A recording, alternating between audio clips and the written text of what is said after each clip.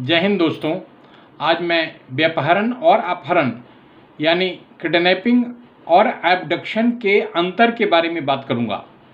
Kidnapping का अपराध 16 साल से कम आयु के बालक या 18 साल से कम आयु की बालिका या विकृत चित्त वाले व्यक्ति के साथ हो सकता है, जबकि अपहरण एबडक्शन किसी भी उम्र वाले व्यक्ति के साथ में हो सकता है। इसमें कोई आयु सीमा नहीं है। दूसरा किडनैपिंग किसी व्यक्ति के विधिपूर्ण संरक्षण यानी लॉफुल गार्जियनशिप की देखरेख से हटाना है, यानी बगैर संरक्षण वाले बालक या बालिका को ले जाने या बहकाने से किडनैपिंग का अपराध कंस्टिट्यूट नहीं होता है, जबकि एबडक्शन अपहरण में व्यक्ति का संरक्षणता आवश्यक नहीं है, क्योंकि व्यक्ति खुद ही व्यस्क होता है। आगे, किडनैपिंग के अपराध में बल प्रयोग आवश्यक नहीं है। अव्यस्क और विकृत वाले व्यक्ति को प्रलोभन या प्रेरित करके उसे जाने के लिए तैयार किया जा सकता है। जबकि अपहरण में एबडक्शन में बल प्रयोग छल कपट आवश्यक है।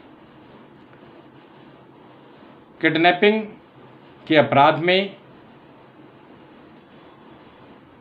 व्यक्ति का यानी कि अव्यस्क और विकृचित व्यक्ति के सहमति की आवश्यकता नहीं है महत्व तो नहीं है, क्योंकि वैध सहमति संभव ही नहीं है, जबकि अपहरण में एबडक्शन में व्यक्ति की सहमति एक अच्छा बचाव होती है।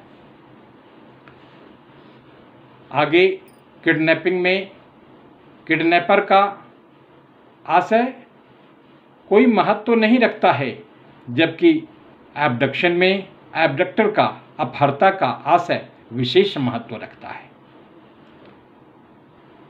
किडनैपिंग में अपराध कंटिन्यूइंग नेचर का नहीं होता, यह तभी पूर्ण हो जाता है, जब विधिपूर्ण संरक्षण से व्यक्ति को हटा दिया जाता है। जबकि एबडक्शन में, अपहरण में अपराध अनवरत और कंटिन्यूइंग नेचर का होता है। यह सतत होता है, चालू अपराध होता है। और जब ये किसी विशेष आशय के साथ किया जाता है, तभी अपराध पूर्ण होता है। किडनैपिंग एक मूल अपराध है, अतः स्वयं दंडनीय है, जबकि एबडक्शन अपहरण एक ऑक्जिलरी अपराध है, सहायक अपराध है। यह स्वयं दंडनीय नहीं है। यह दंडनीय तभी होता है जब यह आईपीसी की धारा तीन सौ चौंसठ, तीन सौ पैंसठ, तीन सौ छियासठ में वर्णित किसी एक आशय के साथ में किया जाता है। आज का वीडियो इतना ही।